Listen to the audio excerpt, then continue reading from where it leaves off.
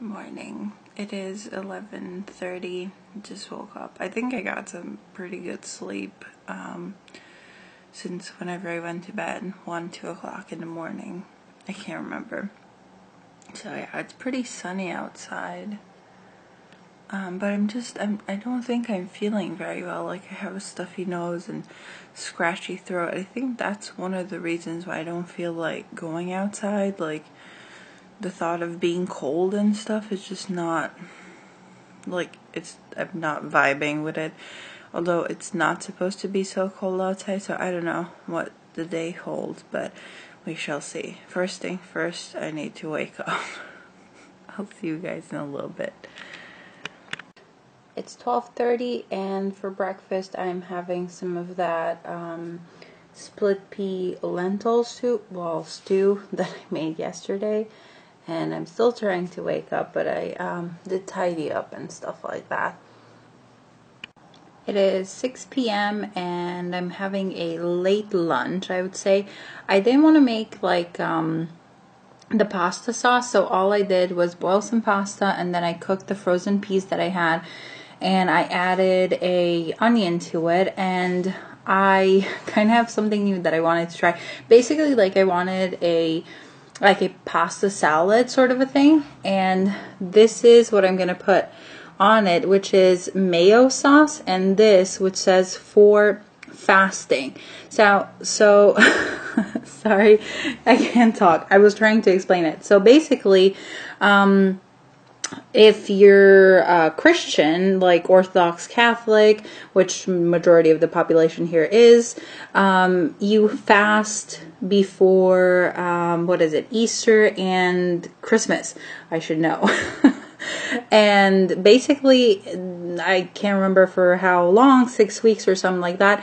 You're not supposed to eat like uh, dairy, milk, I mean, dairy, meat, and egg but fish is uh, you know you can eat fish which i don't think fish is a, a legume but anyway. So basically um, this mayo i remember having it like years and years ago and i actually like the taste better than like regular mayo that has egg in it. So knowing that like this like fasting thing is coming up, I asked my grandma, I'm like, when you go to the supermarket, can you please look and see if there's any for fasting? Because I'm pretty sure they're not going to put any fish in it. And lo and behold, it doesn't. So it's basically vegan mayo. Long story short, so I'm just going to put some mayo on this. And then I have a pretty hilarious uh, sort of story about being vegan in Eastern Europe that I'm going to tell you after I eat because it's just crazy. So, see you guys in a little bit. So, I just finished eating and I really wanted to tell you guys this story. I'm sorry about how I look. I need to go like fix my hair, take a bath, all that stuff, but I've just been like cleaning and stuff. So, um I guess like there's a long version, a short version. I'm gonna try and do the short version of this story. Um, I just find it hilarious. So here's the thing. I haven't had like a physical checkup, whatever, like blood work and stuff done in a really long time. And I mean, not a like a few years. So I was just like randomly asking my grandma because we do have the same like family doctor, like general practitioner, whatever. Um, you know, like next time you go, like, can you please ask? Um, I mean, I know that I can do my blood work, but um, what I was interested in is can I, like, are there clinics that do blood sensitivity testing, meaning like what you're allergic to?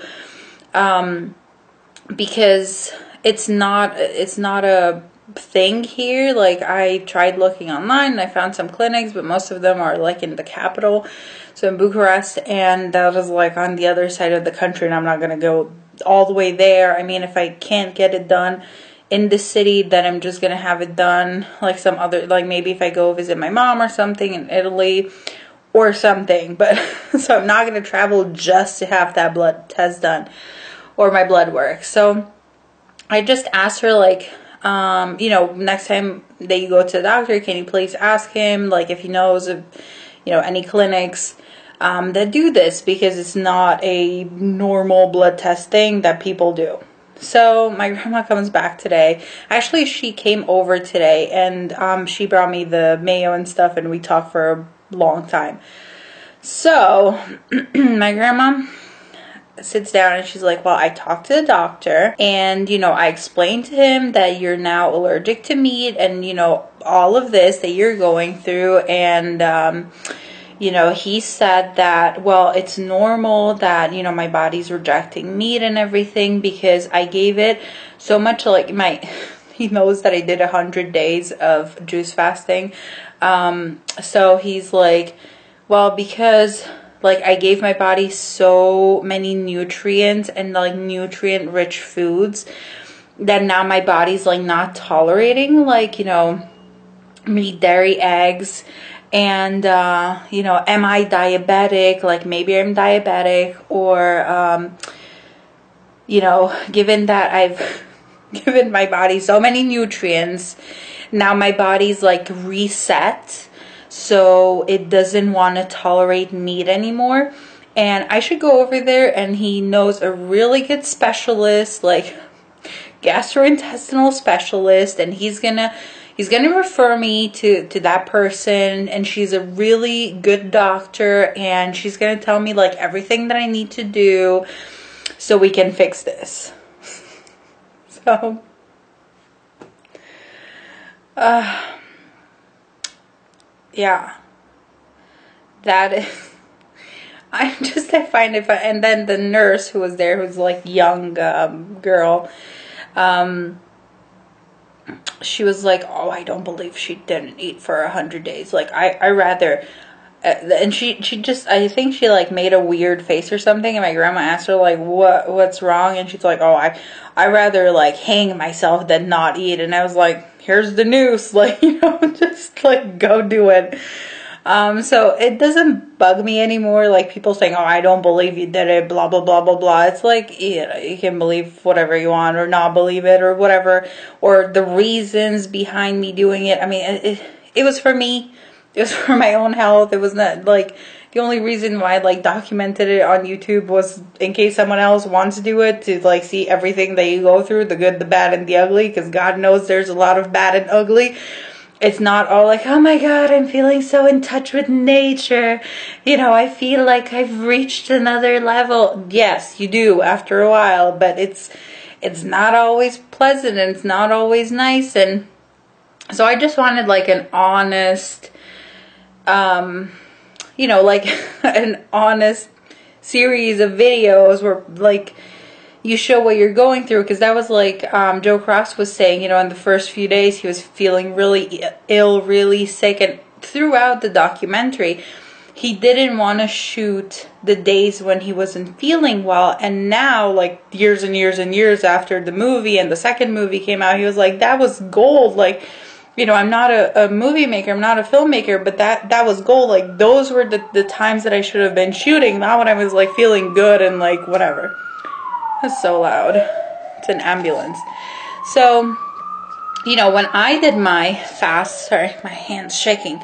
Um, when I decided to do this fast, I was like, you know, might as well just have like a video diary of it and help someone because I didn't find any like very few people are like super genuine on the internet and they're gonna cry on camera and be like, oh, this is so hard. Everybody's like, it was like a little rough, but like, you know, in the end it was okay. And then like a week later when they're reflecting, they're like, oh my God, I went through hell. So I didn't want to be one of those people. I wanted to be like, oh my God, I'm going through hell right now. So anyway, so I really don't care if people believe or don't believe. I didn't do it for anybody else. If the, you shouldn't do it for anybody else, just do it for yourself if you want to do it.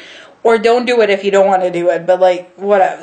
So that really doesn't affect me. But the fact that a doctor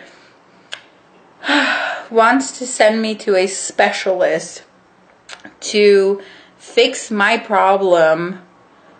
So I got rid of like um you know, meat, dairy, eggs, basically everything that causes like heart disease, strokes and cancer. And now you want to send me to a specialist so that I can get like treated so that I can continue to eat those things that you know are are, are the leading cause for like heart disease, strokes, and cancer. Which the reason why I mentioned this is not like me just like yapping or like you know telling you stuff that I heard from other people who are like pro vegan or whatever. Like no, like in my family, like the my grandparents and people that have passed away, they passed away from heart attacks, strokes, and cancer. So I have it all in my family. It's not like it's something that, you know, it's just I saw it on TV or whatever. It's a very real thing. So obviously I'm predisposed to that. And if I can help it and if I can do something about it, of course I'm going to do something about it. So here I am trying to lead a like a healthy life. And the doctor's like oh no no no no no. We got to fix this because you're sick because you can't eat you know dairy and whatever. And then my grandma's like no she just chooses not to eat dairy and eggs. And that was even more strange for the doctor. So but by his own account when he was like um younger whatever in his doctor career um, he worked at a hospital where they were doing this, um, they were treating cancer patients and diabetes patients with juices, like juice cleanses. So he saw that with his own eyes, and yet he's the one saying that I should go to a specialist so that they can fix my problem with meat. And it's like, I don't have a problem with meat. I like yes, I am allergic, but then again, I have a bunch of allergies, and that's just because I was born after a nuclear explosion, which is a completely different story. But luckily, I wasn't born with other deformities and stuff you know like my mom was at the seaside when when the chernobyl thing happened so i got radiation a lot and a lot of um like my generation suffer from allergies and stuff like that because of you know what happened. So I'm like having allergies is not a big deal. A lot of people have allergies, but I have nothing wrong with my digestion. My digestion is fine. I'm not, you know, my grandma told him like I can't keep meat down and I keep throwing it up and stuff like that. And he was like, Yeah, we, we need to go see a specialist. And it's like, what specialist? Like all I want to do is have my blood work done to see where I am on the scale to see if like my cholesterol levels like what basically what do I need to work on? Do I have a deficiency? Like you know, I just want to make sure now that I'm really taking care of myself, I want to I want to take care of myself even more from like a medical sense and just make sure that I'm on top of everything without, you know, just doing the guesswork. Oh, I think I need more calcium or I think I need more iron, but I'm not very sure. So, anyway, so I just want to do my blood work and I want to do my blood sensitivity, but my doctor thinks that I should go see a specialist. So, that's that's the story pretty much in Eastern Europe if if you tell someone that you can't eat meat, you can't eat dairy, eggs, they're like, "Oh my god, I am so sorry." Because the only people who are who have dietary restrictions are the old and the dying. Like if you're sick, like if you have like cancer or whatever heart problems and then the doctor says well you need to cut out like meat out of your diet or they, they don't even say cut it out. They say like you know limit your meat consumption or limit this or you know you might have something seriously wrong with your really with your gastrointestinal tract um, and you know your body can't handle certain foods and you know so when you tell someone that you you're not eating these things, they automatically think, oh, well, you're sick. Like, you're not sick in the head, maybe sick in the head, but definitely physically ill. So it's like, this is the stuff that I have to deal with. Oh, lordy. So, yeah, it's, I mean, it, you know, when I first hear it, of course, like, I'm I'm very trigger happy, so my blood starts boiling. I'm like, oh, no. But then, like, looking back, I'm like, oh my god. Like, you are doctors. You should know this. Like, I mean, Look at the China study. I know that a lot of vegans like throw that out there, but as a, as a doctor, as an MD, I think you should at least have an inkling that that thing exists or like, you know, I mean, there's so many documentaries. If if I know more about heart disease than you do as a doctor, then that is a problem. So, yeah, just I find it hilarious, but also really, really sad um, that this is like the general consensus and this is what people think and it's like so many things could be prevented by just changing changing what you eat. I mean, what it, and then again people saying, "Oh my god, doing a juice fast is so extreme." Really? Having heart surgery is not extreme. Having bypass surgery is not extreme. Like I don't know, like living on medication day in day out, that's not extreme. But me drinking juice and not eating animal products, that's extreme. How is that extreme? Like I don't I don't get how that's extreme. It's like okay. So I don't know, like I'm I'm baffled, seriously. so yeah. Uh, for those of again, I repeat, for those of you living in other countries, like more developed countries, and you have like all the fake meats and the you know fake eggs and everything. And the the fake like not the fake but like the junk food like vegan and stuff like that. You're so lucky. Like here it's like okay you want to go vegan? Here's your salad. Here's your carrot. Deal with it. Like there's no in between. I mean the fact that i found like vegan mayo there's only one brand that makes it I can guarantee this. and I, I in the supermarket at Lidl when I where I shop, you can find it. Um, you can only find it in some huge, like really huge supermarkets. Like I don't know, just huge. And there's like this tiny little section, you know. Really, there is, and mostly for like soy stuff. I mean, for God's sakes, Lidl, the supermarket that I just uh, I go to, they just came out with soy milk. Uh, I think they have vanilla and chocolate a couple of months ago.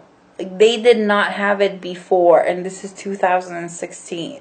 So, you know, my mom lives in Italy, and she's like, I have like my rice milk and my almond milk, and you know, and I have it with my coffee, and you should definitely buy some rice milk because, like, I I told you guys that I, in my opinion, I have an intolerance to soy. I just never reacted well to soy. And so I really don't want to go there because, because of this, because I got one huge zit that is like still, knock on wood, it's on the mends, but it only took like two months to get rid of it. And it was like really, really painful and just, um, self-confidence plummeted and everything. And I mean, I'm blessed that I only have to deal with like a couple of things.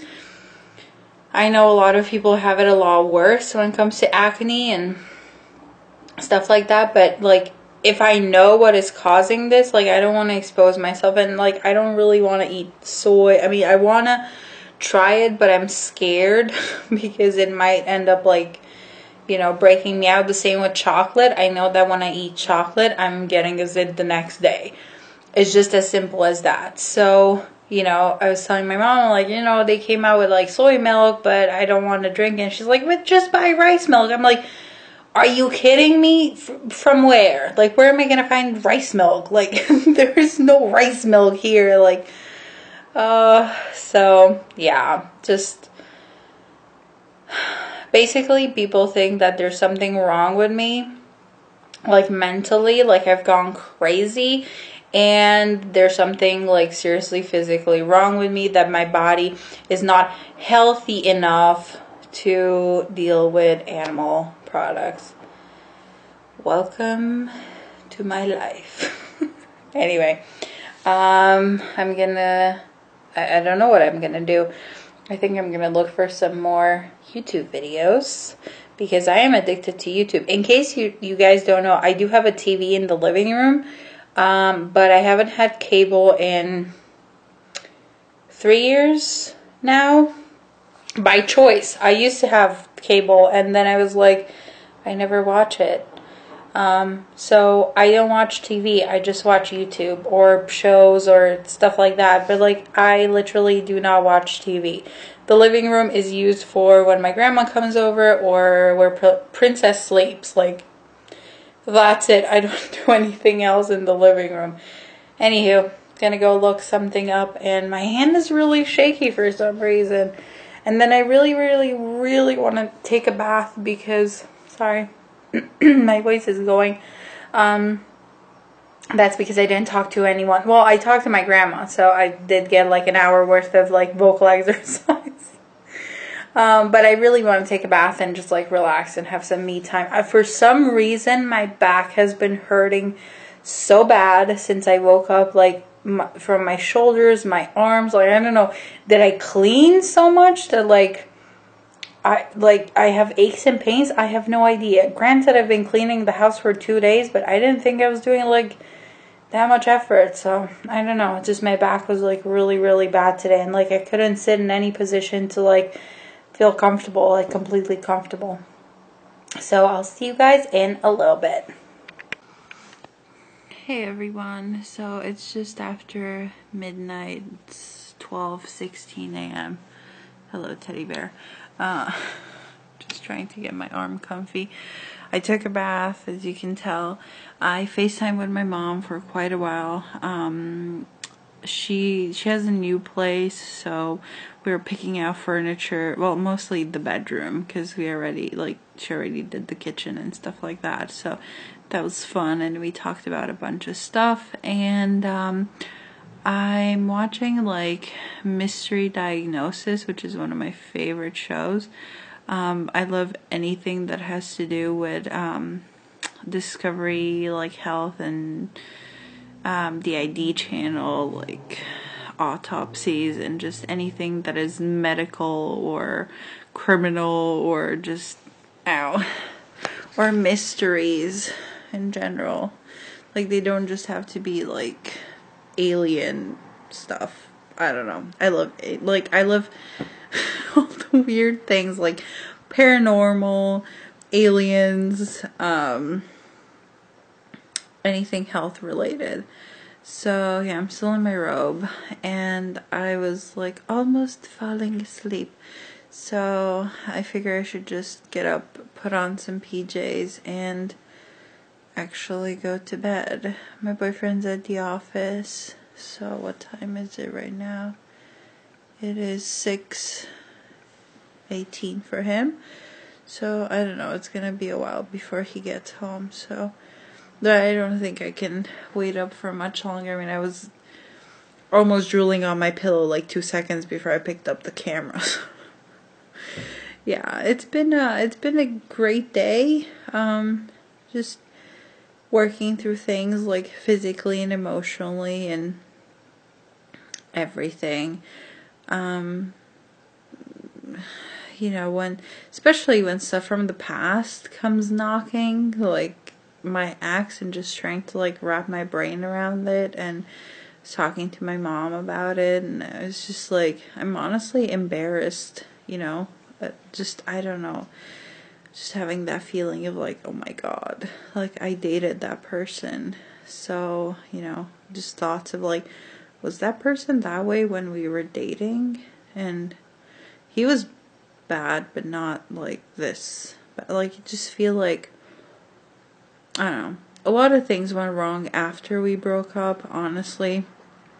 A couple of months after we broke up, um, his mom died in a very bizarre uh, accident. She choked on her food and um, they couldn't resuscitate her and she just um, she was in a coma for a while before she passed away and uh, that's because she was um, she was an alcoholic, but she was also addicted to um, sleep medication, and she would just mix the two. So, I mean, she went from like sitting at the table eating to choking on her food and um, even the it, it was just a very tragic death like i don't know it's just weird like the paramedics like just removed like a ton of food from her trachea and it's just but they couldn't get her back. So that happened and then like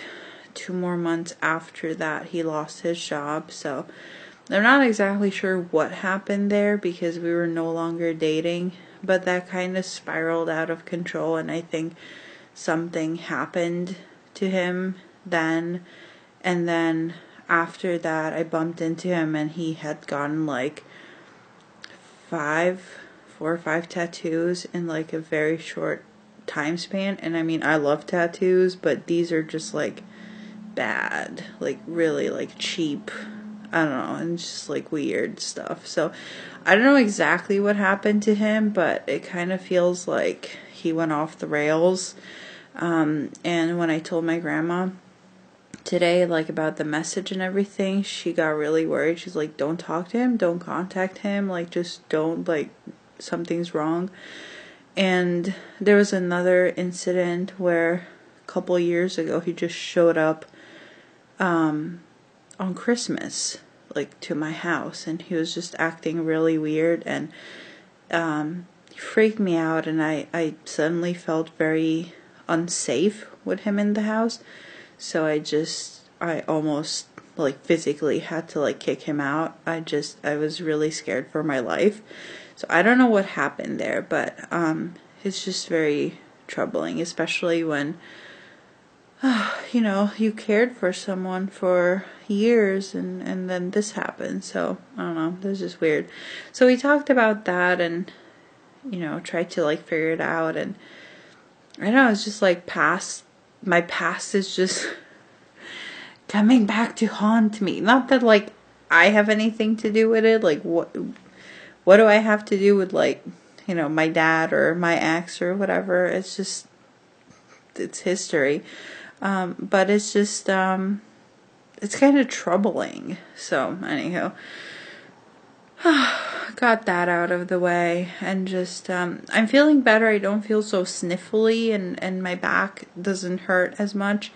Um, obviously I didn't do very many activities today, just, you know, in the morning like tidied up and um, put away like the laundry and stuff like that. But anyway, so today was was a good day and taking a bath and being all fresh and clean and stuff is nice. And also picking out furniture is very exciting. So i love that. And um we already like picked out like the my uh, mom's like kitchen furniture. Basically my mom went like she moved in. The place was empty. And so she just redid everything like uh, not herself but like she had she hired people. But like the bathroom is new the kitchen is new and just like you know it's an empty space that you can fill with whatever you want. So it's pretty nice like looking in a catalog and being like yes you know i think we should get like this furniture and this bed and with these options and that nightstand and this type of mattress. And it's just very exciting. So living vicariously through my mom. And she got like um some uh, like a little set of like table and like chairs like for her balcony and um, she's getting flowers and then we're thinking about what flowers she should put in like the things on the balcony and just like stuff like that. So that was mainly what happened. Uh, so yeah that's that's exciting. So anywho i'm uh i'm sleepy and Princess has beat me to it. She's been sleeping all day.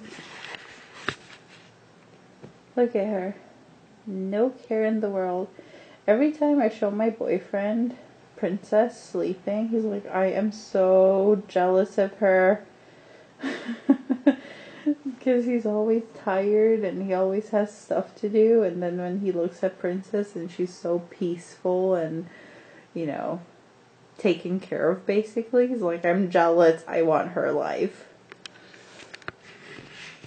So there we go. Um, it's been fun, sort of. I mean, every day is interesting, needless to say.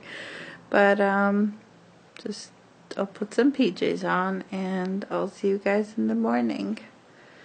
Night.